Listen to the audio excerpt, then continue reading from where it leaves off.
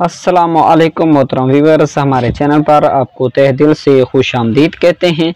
मैं हूँ जवेद इकबाल, आप देख रहे हैं मेरा यूट्यूब चैनल मेडिकल इन्फोबी के। अच्छा दोस्तों, आप इस चैनल पर नए हैं तो इस चैनल को सब्सक्राइब करें लाइक करें, ताकि हर आने वाली वीडियो नोटिफिकेशन आप तक पहुँचते रहे और आपको बसानी वीडियो मिल सके। अच्छा दोस्तों, आज की हमारी जो मेडिसन है, वो है ब्रोफन क्रीम के बारे में।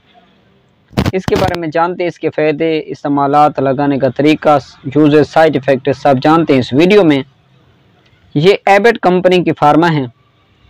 इसकी फार्मोलेशन की बात करें तो इसमें पाया गया एबोब्रोफन इसकी प्राइस की बात करें तो ये नाइन्टी रुपीज़ में आपको किसी भी मेडिकल स्टोर या फार्मेसी से बसानी मिल सकती है।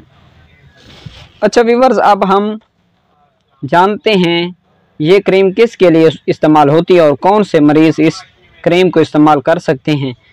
ये क्रीम जिसम के मुख्तलिफ़ किस्म के दर्द के लिए होती है, जो दर्द से फ़ौर आराम देती है। ये बहुत ही ज़बरदस्त क्रीम है। अगर आपके घुटनों में दर्द हो, ये क्रीम आप इस्तेमाल कर सकते हैं। अगर आपके पाँव में दर्द हो रहा हो, या आपके कमर में दर्द हो रहा हो, या आपकी गर्दन में दर्द हो तो आप ये क्रीम इस्तेमाल कर सकते हो। या अचानक आपको चोट लग गई हो और दर्द नहीं रुक रहा हो और सोजिश भी हो गई हो तो इन तमाम मसाइल के लिए ये क्रीम बहुत ही मुफीद है। अगर आपको आराम महसूस नहीं हो रहा हो, आप इसको दिन में तीन मरतबा लगा सकते हैं। इसको मसाज करनी है, क्योंकि ये जिसम में जल्दी जज़ब हो जाए और जल्द आराम दे सके। अगर आपको कोई मोच आ गई हो, यानी जल्दी जल्दी चलने से आपके पाँव में मोच आ गई हो तो इस मसले के लिए ये क्रीम लाजवाब साबित होती है।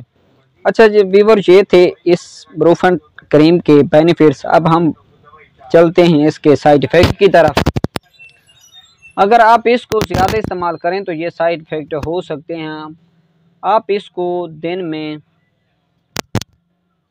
एक दिन या दो दिन या चार दिन तक इस्तेमाल कर सकते हैं, लेकिन फिर भी आपका दर्द कम नहीं हो रहा तो आप अपने डॉक्टर से मशवरा ज़रूर कर लें या आप अपना चेकअप करा लें। आपको कोई और मसला हो, इसका हमेशा ख्याल रखा करें कि घर बैठे कोई भी मेडिसन हो या कोई भी क्रीम हो, आप मुसलसल अपनी मर्ज़ी से कभी इस्तेमाल ना करें। अगर आप कोई ऐसी चीज़ यूज़ करते हों।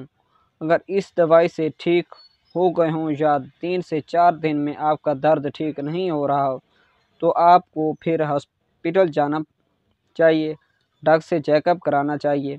घर बैठे अपने आप डॉक्टर ना बनो। अचानक दर्द की वजह से आपको डॉक्टर से चेकअप करा, ज़रूर कराना चाहिए। अच्छा एक और ख़ास बात का ख्याल रखा करें। कि कोई भी मेडिसन हो या कोई भी और खाने की अशिया हो तो इसकी सबसे पहले इसकी एक्सपायरी डेट चेक कर लिया करें कि कहीं आप एक्सपायरी मेडिसन तो नहीं ख़रीद रहे।